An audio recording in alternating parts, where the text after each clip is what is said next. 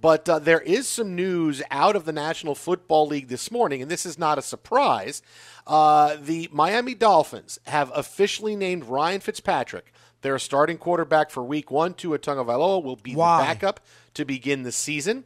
Uh, so far, this has been kind of what we expected. Look, Josh Rosen uh, was beaten out for the job, so the Dolphins let him go. He's going to start his career, uh, try to jumpstart it again for the third time.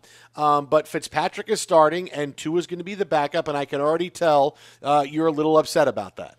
It's just a, it's just wasted snaps on Fitzpatrick. We we already know we've seen that movie, and, and it's a horror movie at the end. So we so we've seen it. I'm just sorry, Jason.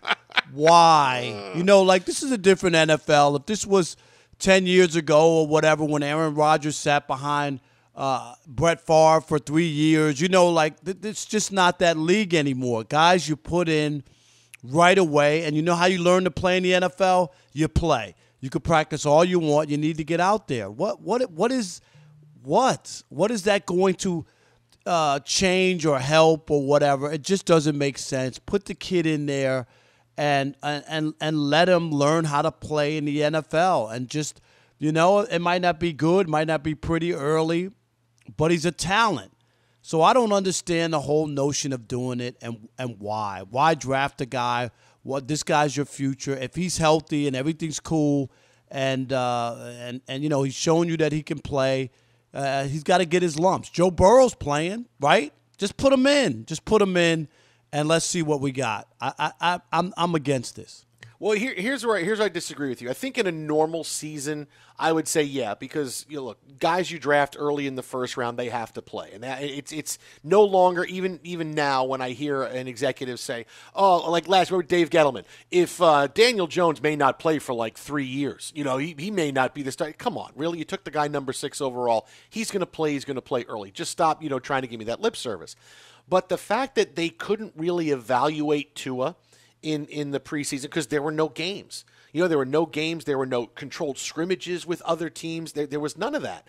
So they know, listen, we're in it this year to try to get Tua to be our starting quarterback in, in the smoothest way possible. And if we throw him out there at the beginning of the season with no game tape to look at, how did this guy really uh, look at when when when the footballs were flying for real? Because that's the difference between a a rookie player and other players in the league is rookies only know one way to play.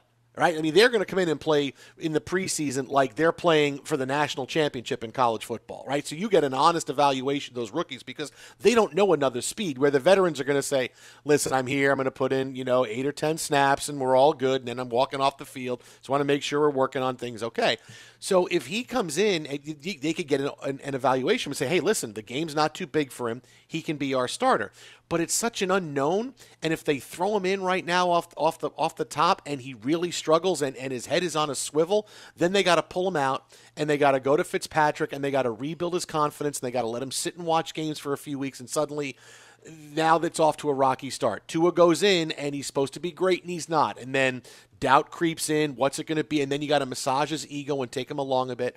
No, I completely get the Dolphins doing it this See, way just because eventually they know Tua's going to be the quarterback. They know they're not going to win the Super Bowl this year. So Fitzpatrick will play until Tua's ready or Fitzpatrick turns back into Ryan Fitzpatrick, which is the first couple of games where he has one touchdown and four picks. And they go, okay, we're moving on. But I, I, I, I get why they're doing it this way. See, I, I, I, totally disagree. And and first of all, they have all the tape. They've seen this kid play. Number two, in football, you win your job in practice because there's more practice than there are uh, uh, games, actual games. It, it's unlike any other sport. You practice more. So guys win their jobs in practice. That was always the knock on why you know, people were talking about Tim Tebow. Tim Tebow didn't wasn't a good practice player, and people used to say like, why he does he get these opportunities when he doesn't practice well? And and that's my point. You're watching the guy throw the football. You're, you're running drills. You know what he can do, but you already know. To me, anytime you give Fitzpatrick snaps, they're wasted. They're, they're just wasted. And Tua can use those snaps to learn in the heat of the battle. Uh, like I said, un- unless you really think, all right, we drafted him and we're not sure about him, or we're questioning or him, or he hasn't picked up something, or if there's something like that. But if you're telling me He knows the offense. He knows what he's doing. We've watched him day in and day out in practice. He should be out there from day one. I just I don't believe in bringing people along. You know, ultimately you got to play in the game, Jason, and and that's where you learn.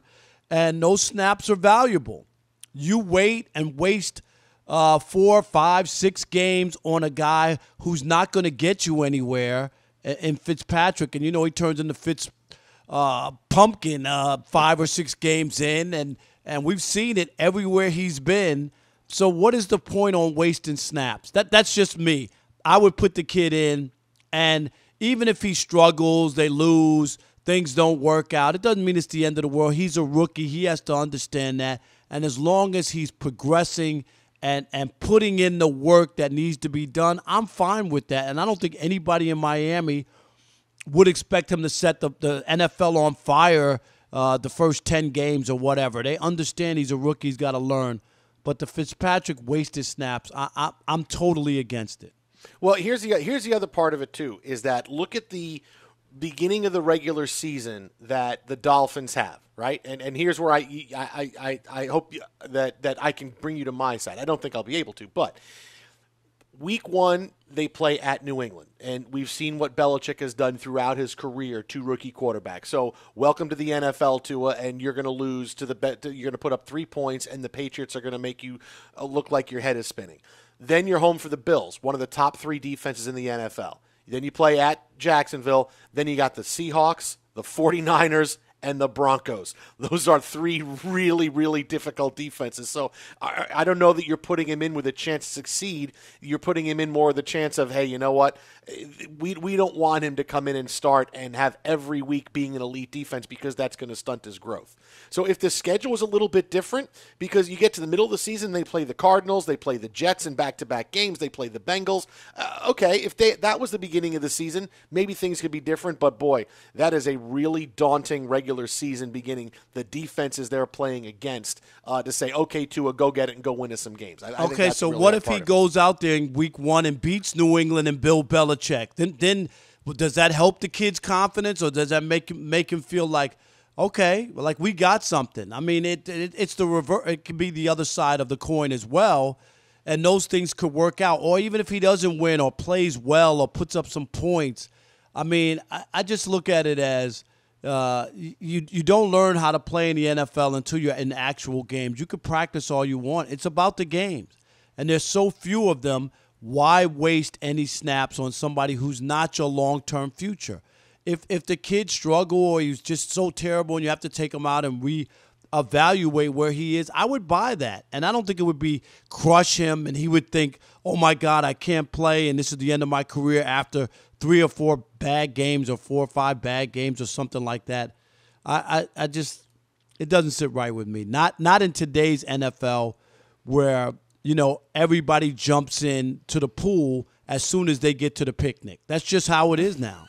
you you know that. You jumped in the pool that yesterday in in Woodland hey. Hills, 120 degrees. Did you wait around? Did you say, "Nah, I'm not going to get right in. I'll walk around the barbecue or I'll flip some burgers at the grill at 120 degrees, and then maybe I'll get into the pool later on. Oh no no no! I walked in bathing suit already. It's one of those where you wear the bathing suit in the car going over, yes. so you don't have to worry about and changing. Just jump in. Oh no no! It's 120 degrees. Hey, it's, oh the pool looks great. Yeah, the pool is great. Yeah, I'll go in. Oh, because my daughter wanted to go in. I'll go in. I'll go in with Zoe. I'll go in for a little bit. Pam, you, you take it easy. I'll go in with Zoe right. And it was like walking right into bathwater. I'm just gonna hang out in here for a while. It is hot.